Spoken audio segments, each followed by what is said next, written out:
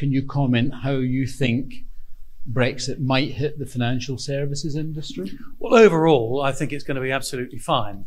Um, there is, uh, of course, it was exactly the same debates about the euro. I've told you I've lived through it before. Governors of the Bank of England I've debated within the Mansion House uh, on this very issue. Um, uh, you know, obviously, there's going to be competition, and the Continentals are at the moment trying to steal uh, business. It's inevitable. And there is a leading competitor across the water over there, shimmering, Frankfurt, I mean, shimmering like Croydon. the, frankly, you know, London is a completely different league from these places. And I think actually the fact that the Continentals can't decide, unsurprisingly, which is going to be the alternative centre is going to help us. I'd be more worried if all the business that we've already lost and are going to lose was going to one place, but it's not.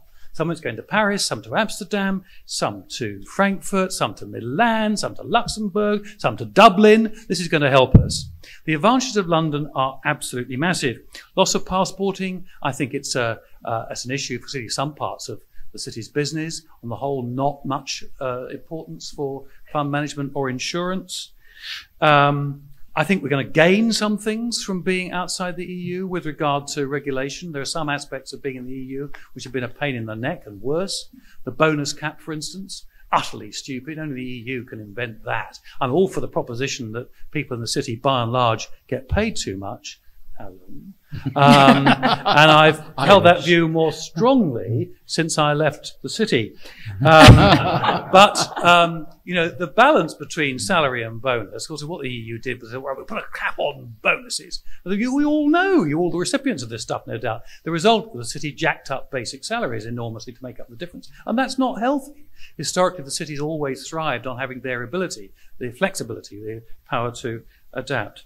So I think we'll have um, some loss of business, we have had some, some activities. I think it'll be minor.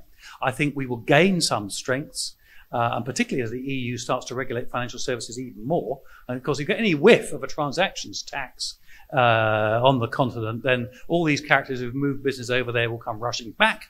Also, the city will, will be dependent partly upon the more general decisions that British governments take with regard to regulation, taxation, both corporate and individual tax, and how well the UK does, how well the UK's infrastructure does. And overall, the picture be, should be to look at the world. I mean, the major competitors for uh, our financial services business are not Frankfurt or Paris.